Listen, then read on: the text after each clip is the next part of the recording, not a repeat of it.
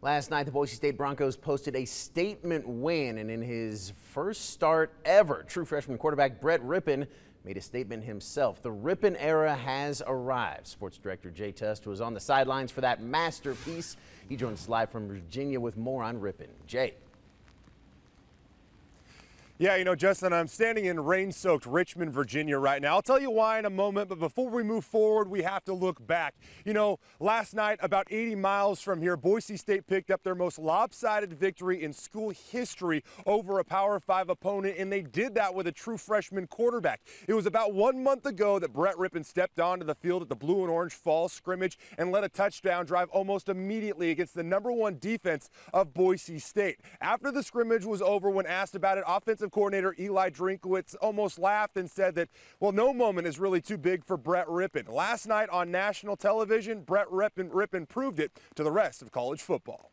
I've seen that in him in a, you know, as a very young kid. Leadership. It's a quality that Brett Rypien put on display long before he arrived on campus at Boise State. He likes to lead, and I think that's one of his best traits personally is that he's a he's a very good leader. It's a character trait that was emphasized by his father as a seventh grader and eighth grader, and acknowledged by his uncle Mark. I mean, he was totally in tune to, to what was going on. The 1992 Super Bowl MVP of the Washington Redskins. He wanted to do it because he wanted to be the best at what he does, and uh, so he took it to heart.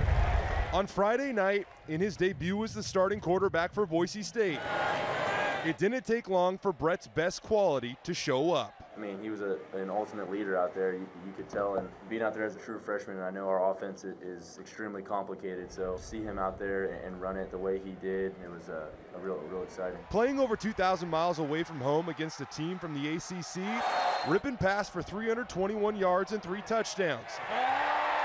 In doing so, he also became the first true freshman in the NCAA to win on the road against a Power 5 opponent this season. I was impressed with his operation. I was impressed with him in the huddle. I was impressed with him after a negative series of coming back, getting on the phone. Uh, he was very focused tonight. Clearly, Brett was prepared for the moment. Just ask his college roommate about his dedication. He, he gets to the meeting room 6 a.m. watching film. He's the last one to leave watching film. So, I mean, it was expected. Or his uncle Mark, who knows a thing or two about success. A lot of things he's doing now is because of who he is, you know, and, and he really takes to heart the mental aspect of this game. Uh, just has a really, really niche for the game of football and uh, a gift. Obviously, one game doesn't make a career. But last night's start is likely the first of many.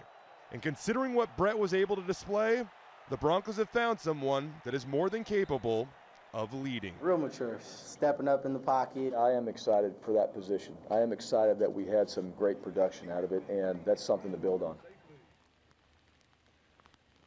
A cool moment right there with Brett Rypien and offensive coordinator Eli Drinkwitz leaving the field. After the game, Harsin also mentioned that Rypien displayed the top quality he looks for in his quarterback, and that's toughness. Rypien was hit time and time again, but each and every time he went to the turf, he popped right back up, proving that he has that toughness that Harsin requests out of his quarterbacks. Coming up tomorrow, our live coverage from Virginia will continue. The uh, World Cycling Championships conclude tomorrow here in Richmond. Today, we spent most of the day with uh, Boise native Kristin Armstrong, who missed out on an automatic bid to Rio this week, but today she confirmed that she's still going to try to get there. It's going to be a long process over the next year, but she's more determined than ever. As I toss it back to Boise, Justin, I don't know if you've told everybody yet, and I don't mean to break the news, but considering this is your last day with us at KTVB, I just wanted to express how grateful I am for having the opportunity to work with you over these last few years. You've been a tremendous utility tool at KTVB, and your presence will be missed in front of the camera, but more so in the newsroom. And Justin Core's quote board has provided us the laughter and family feel that's so important to KTVB. KTVB. So you will be missed greatly, and I promise you, these are the raindrops here in Richmond. They're not tears. Wish you the best of luck, buddy. Oh, Jay, you're a sweetheart. Thank you. And coming up in sports, we're talking Idaho Vandals. Really, could the Vandals make it two wins in a row? Will Hall will have the highlights.